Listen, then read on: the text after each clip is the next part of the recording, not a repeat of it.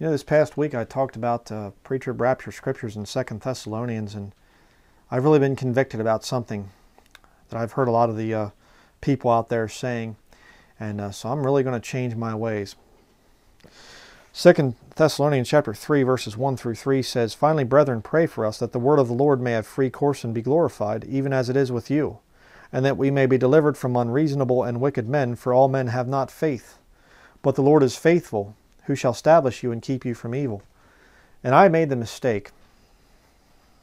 Stay with me, I'm just being satirical here. I made the mistake of saying that our faith is the source of our strength.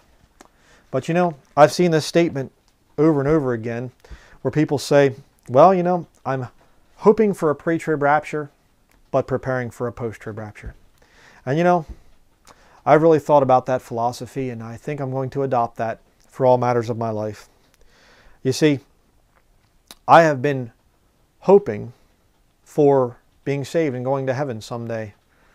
But uh, just in case I'm wrong, I'm going to start to uh, read the catechism. I'm going to have King James Bible and the catechism. I mean, I believe, I hope that my King James Bible is true. But just in case, I need to start getting prepared. Just in case. Okay? You know, I mean, because what if it's wrong? Then I wouldn't be prepared, see? I'd have to be part of the one true church. And, you know, continuing in this philosophy, um, I think that I'm in love with my wife. And I think she loves me. But just in case, I'm going to start to have a, a mistress on the side. Just in case something goes wrong with my marriage. Because I want to be prepared. You see? Okay, enough foolishness. Is that really a stand that a Christian should be taking? I believe that there will be a rapture, but I'm going to still prepare for the going through the tribulation. No, it says there uh, in verse 3 But the Lord is faithful, who shall establish you and keep you from evil. We're supposed to live by faith.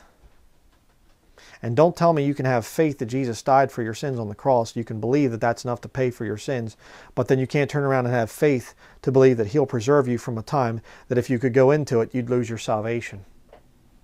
Don't even tell me that. You need to get right with God. If you are fearing missing the rapture, that the rapture won't be pre trib and we got to prepare just in case, you're not living by faith. You're living by sight.